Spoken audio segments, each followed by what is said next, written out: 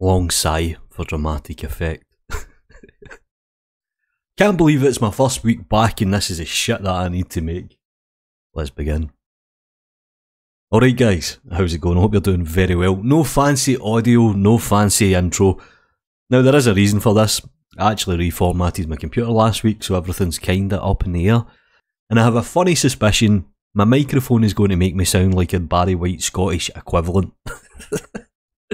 so I do apologise in advance. So, let me tell you a story and let me take it one step further. Let me show you how to actually make a thumbnail. And you're probably saying to yourself, Steph, why the fuck are you showing me how to make a thumbnail? That's that's ABC stuff. And you are correct. But I was browsing Facebook, I was doing the usual, I was wasting time. I came across this post. Thank you all. I uploaded a tutorial of 3D modelling. Please subscribe. It's your standard stuff. You've got somebody starting off on YouTube. It does take a little bit of pimping. You need to you need to hear yourself quite a lot.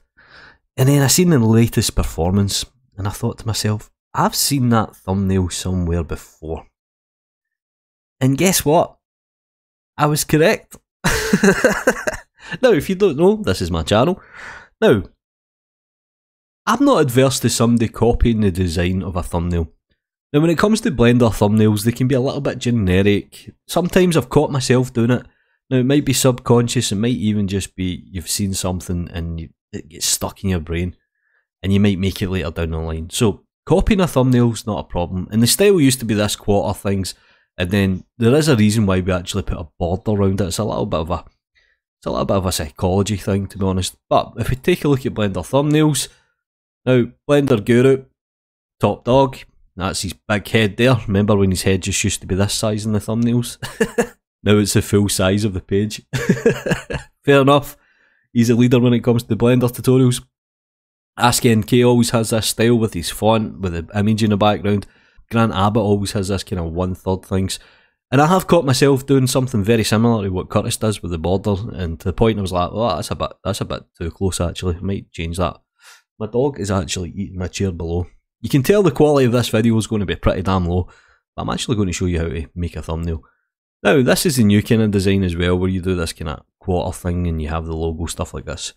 So I was reading the comments and the author got back, Oh my god, bro, it's you. Uh, please forgive me this time. I felt lazy. Now, I don't give a fuck if you have lost a leg in the war. Lazy does not constitute you taking somebody else's artwork and you never even done it right. You never even downloaded a high quality thumbnail. You just right clicked on Google and it's horrible looking, mate. It's absolutely horrible.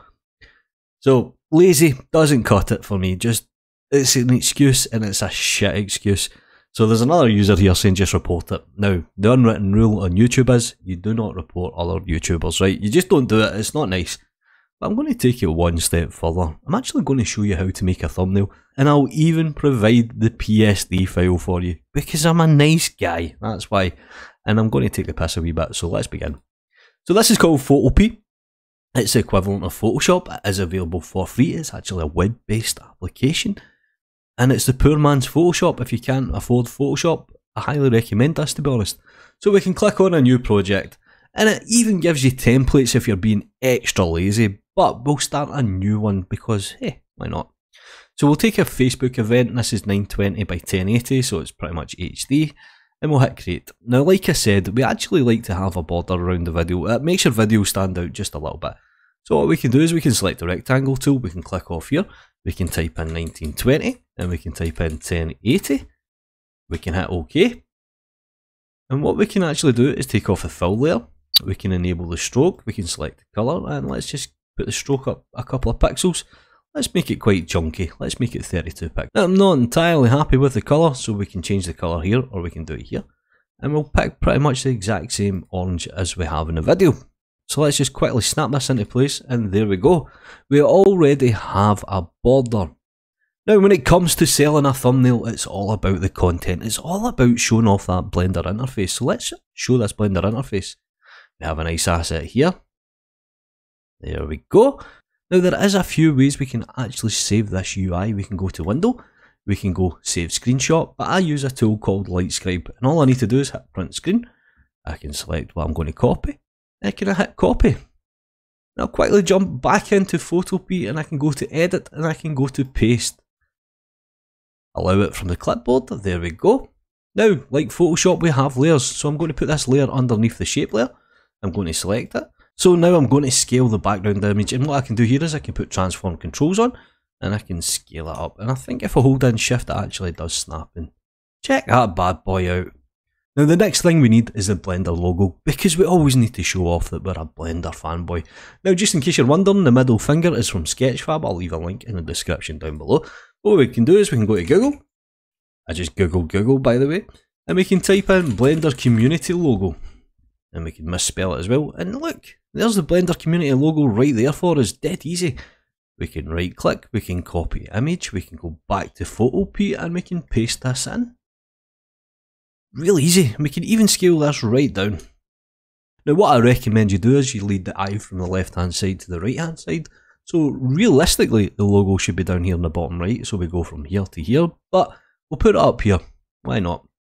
Now of course we need to have some sort of text, we need to tell the user this is what this tutorial is in a visual representation. So what I'll do is I'll just add a rectangle, I'll enable the fill back and we'll change the colour to something like black, we'll take off the stroke and we'll just do something like this. And there we go, we have this nice border, very similar to the image that I made. And I'm just going to move this image up just a little bit, just so we'll get something to play with. So obviously we need text, so you would select the text tool. And let's give the thumbnail a fancy title. So let's call this Blender Tutorial. Check this out, dead easy to do by the way, this only takes 5 minutes. So let's change the font colour to so it's nice and white and it stands out and let's just give it capital letters just so we keep everything's nice and tidy. And there we go, we have a thumbnail and we have it in under 5 minutes. Do me a favour guys, like the video, subscribe to the channel if you haven't already, follow me on Twitter, you know what to do. Take care. A douche. Imagine copying somebody's thumbnail.